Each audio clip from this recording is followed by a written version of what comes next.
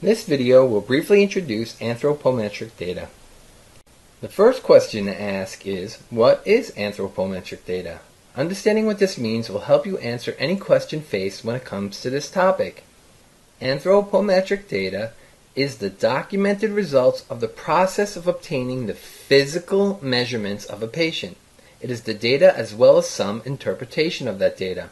Common measurements include height, weight, skin fold tests, waist circumference, head circumference, and birth weight. It is very important to understand that there are some calculations that are considered anthropometric data. Things such as BMI, changes in growth rate, or the percentage changes in weight.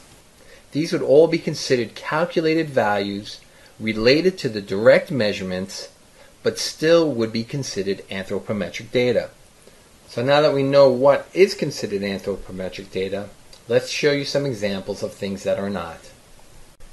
Things that would not be included would be items such as any biochemical data. This includes anything found on a lab report such as lipid levels, glucose levels, comparisons, A1C levels, electrolyte levels, or even liver enzyme levels.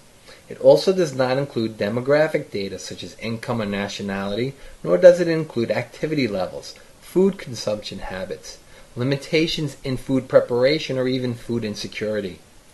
Other information that is not considered anthropometric data is the history of the client, with the exception of the items already mentioned that are needed for the calculations such as weight and growth changes. This would include medications, previous medical history, occupation, education, social beliefs, housing, or even living situations.